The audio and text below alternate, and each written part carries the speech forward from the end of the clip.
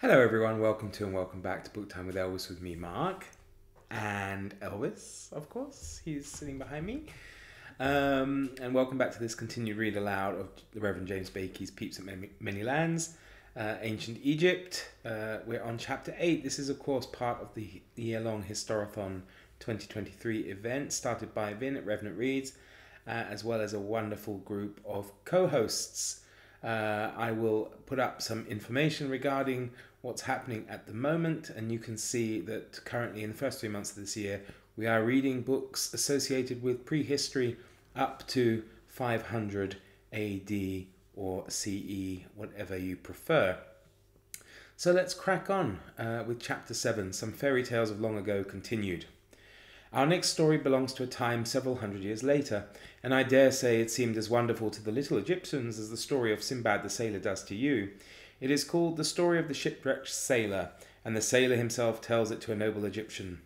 I was going, he says, to the mines of Pharaoh, and we set sail in a ship of 150 cubits long and 40 cubits wide. That's 225 feet by 60 feet, quite a big ship for the time. We had a crew of 150 of the best sailors of Egypt, men whose hearts were as bold as lions. They all foretold a happy voyage, but as we came near the shore, a great storm blew, the sea rose in terrible waves, and our ship was fairly overwhelmed. Clinging to a piece of wood, I was washed about for three days, and at last tossed up on an island. But not one was left of my shipmates, all perished in the waves. I lay down in the shade of some bushes, and when I had recovered a little, I looked about me for food. There was plenty on every hand figs and grapes, berries and corn, with all manner of birds. When my hunger was satisfied, I lit a fire, and I made an offering to the gods who had saved me. Suddenly I heard a noise like thunder, the trees shook, and the earth quaked. Looking round, I saw a great serpent approaching me. He was nearly fifty feet long and had a beard three feet in length. His body shone in the sun like gold, and when he reared himself up from his coils before me, I fell upon my face. Then the serpent began to speak. What has brought thee, little one? What has brought thee? If thou dost not tell me quickly what has brought thee to this isle, I shall make thee vanish like a flame. So saying, he took me up in his mouth, carried me gently to his lair, and laid me down unhurt. And again he said, What has brought thee, little one? What has brought thee to the isle of the sea? So I told him the story of our shipwreck, and how I alone had escaped from the fury of the waves. Then he said to me, Fear not, little one, and let not thy face be sad. If thou hast come to me, it is God who has brought thee to this isle, which is filled with all good things. And now, see, thou shalt dwell for four months in this isle, and then a ship of thine own land shall come, and thou shalt go home to thy country and die in thine own town. As for me, I am here with my brethren and my children. There are seventy five of us in all, besides a young girl who came here by chance, and was burned by fire from heaven. But if thou art strong and patient, thou shalt yet embrace thy children and thy wife, and return to thine home. Then I bowed low before him and promised to tell him of uh, tell of him to Pharaoh, and to bring him ships full of all the treasures of Egypt. But he smiled at my speech and said, Thou hast nothing that I need, for I am prince of the land of Punt, and all its perfumes are mine. Moreover, when thou departest, thou shalt never see this isle, for it shall be changed into waves. Now behold, when the time was come, and he, as he had foretold, the ship drew near, and the good serpent said to me, Farewell, farewell, go to thy home, little one, see again thy children, and let thy name be good in thy town. These are my wishes for thee. So I bowed low before him, and he loaded me with precious gifts of perfume, cassia, sweetwoods, ivory, baboons, and all kinds of precious things. Baboons? okay. and I embarked in the ship and now, after a voyage of two months, we are coming to the house of Pharaoh, and I shall go in before Pharaoh and offer the gifts which I have brought from this isle into Egypt, and Pharaoh shall thank me before the great ones of the land. Our last story belongs to a later age than that of the shipwrecked sailor. About 1,500 years before Christ, there arose in Egypt a race of mighty soldier kings who founded a great empire which stretched from the Sudan right through Syria and Mesopotamia as far as the great river Euphrates. Mesopotamia, or Naharaina as the Egyptians called it, had been an unknown land to them before this time, but now it became to them what America was to the men of Queen Elizabeth's time, or the heart of Africa to your grandfathers, the wonderful land of romance where all kinds of strange things might happen, and this story of the doomed prince, which I have to tell you belongs partly to Naharaina, and as you will see, some of our own fairy stories have been made out of very much the same materials as are used in it. Once upon a time there was a king in Egypt who had no child. His heart was grieved because he had no child, and he prayed to the gods for a son. So in the course of a time a son was born to him, and the fates, like fairy godmothers, came to his cradle to foretell what should happen to him. And when they saw him, they said, His doom is to die either by the crocodile, or by the serpent, or by the dog. When the king heard this, his heart was sore for his little son, and he resolved he would put the boy where no harm could come to him. So he built for him a beautiful house away in the desert, and furnished it with all kinds of fine things, and sent the boy there with faithful servants to guard him, and to see that he came to no hurt. So the boy grew up quietly and safely in his house in the desert. But it fell on a day that the young prince looked out from the roof of his house, and he saw a man walking across the desert with a dog following him. So he said to the servant who was with him, What is this that walks behind the man who is coming along the road? It is a dog, said the page. Then the boy said, You must bring me one like him. And the page went and told his majesty. Then the king said, Get a little puppy and take it to him, lest his heart be sad. So they brought him a little dog, and it grew up along with him. Now it happened that when the boy had grown to be a strong young man, he grew weary of being always shut up in this fine house. Therefore he sent a message to his father, saying, Why am I always to be shut up here? Since I am doomed to three evil fates, let me have my desire, and let God do what is in his heart. So the king agreed, and they gave the young prince arms, and sent him away to the eastern frontier, and his dog went with him. And they said to him, Go wherever you will. So he went northward through the desert with his he and his dog, until he came to the land of Nairana. Nairena.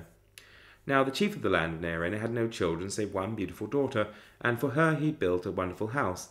It had seventy windows, and it stood on a great rock more than a hundred feet high. And the chief summoned the sons of all the chiefs of the country round about, and said to them, The prince who can climb to my daughter's window shall have her have her for his wife.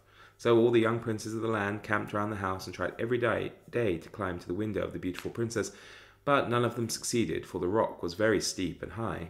Then one day when they were climbing, as they were wont, as they were wont, the young prince of Egypt rode by with his dog, and the princes welcomed him, bathed him, and fed his horse, and said to him, Whence comest thou, thou godly youth, goodly youth?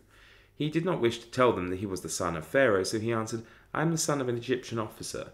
My father married a second wife, and when she had children, she hated me and drove me away from my home. So they took him into their company, and he stayed with them many days. Now it fell on a day that he asked them, Why do you stay here, trying always to climb this rock? And they told him of the beautiful princess who lived in the house on top of the rock, and how the man who could climb to her window should marry her. Therefore the young prince of Egypt climbed along with them, and it came to pass that at last he climbed to the window of the princess, and when she saw him, she fell in love with him and kissed him. Then was word sent to the chief of Naharaina that one of the young men had climbed to his daughter's window, and he asked which of the princes it was, and the messenger, messenger said, It is not a prince, but the son of Egyptian, an Egyptian officer who has been driven away from Egypt by his stepmother. Then the chief of Nairana was very angry, and said, Shall I give my daughter to an Egyptian fugitive? Let him go back to Egypt. But when the messengers came to tell the young man to go away, the princess seized his hand and said, If you take him from me, I will not eat, I will not drink, I shall die in that same hour. Then the chief sent men to kill the youth where he was in the house. But the princess said, If you kill him, I shall be dead before the sun goes down. I will not live an hour if I am parted from him. So the chief was obliged to agree to the marriage, and the young prince was married to the princess, and her father gave them a house and slaves and fields and all sorts of good things. Well, I'm not sure about the slaves, eh? But hey ho.